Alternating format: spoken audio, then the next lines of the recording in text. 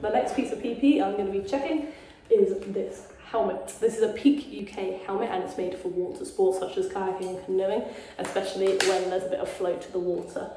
Uh, the serial code of this is 13851997 and we're not too sure when this one was manufactured, however, uh, we would just check our database for that and it tell you um, the year of manufacture and when it's obviously been checked as well, as surface history. Um, if we didn't have that, then it would probably have to be a fail. However, you could also go back in finance records and find out when the last time uh, the company bought helmets were, and then you could date it obviously back to that as well um, to find out when that batch of helmets were uh, manufactured and whether they're out their 10 year expiry date, as obviously these are plastics and have uh, fabrics and textiles on the inside as well, which only last 10 years from their manufacturing date.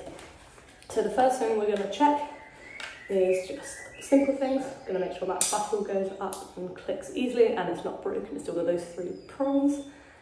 Um, we can tighten this up as well, this chin strap, make sure it tightens and loosens so that it fits everyone's head, and it does, that's fabulous. Gonna check all of these little buckles as well and make sure that they are not cracked or um, are chipped or, or um, sharp or anything that could hurt the user. Also going to check these rivets on the outside of the helmet which kind of holds everything in place, especially these chin straps and make sure they're not rusty. These ones are a little bit scratched, but that's absolutely fine, um, nothing to worry about.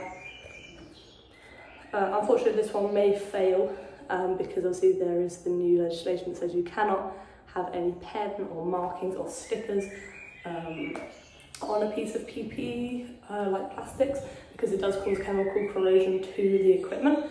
Uh, so you can see this one here has had pen on it and that wouldn't be allowed. Instead, they prefer you to write on the inside on the stickers, just like that. That's number three there. Uh, okay, so you're going to check that these do up at the back, and they do, and they're not broken. Yeah, that slides through. And so just that one there, so we have two different um, adjustments at the back, and they are both in working order as well. Uh, there are a few um, scrapes and um, scratches on this helmet, but there isn't any stress to it um, and nothing's been deformed or um, changed at all about this helmet other than obviously a few scratches on it, but just where people have been using it or maybe had it on their kayak or something. So I would say that this does pass. Obviously, we'd need to check the date and make sure that it is in date. And if it was, then it would probably pass, except for obviously that chemical corrosion. However, if it was before um, that rule was brought in for PPE checks, then obviously it would be okay.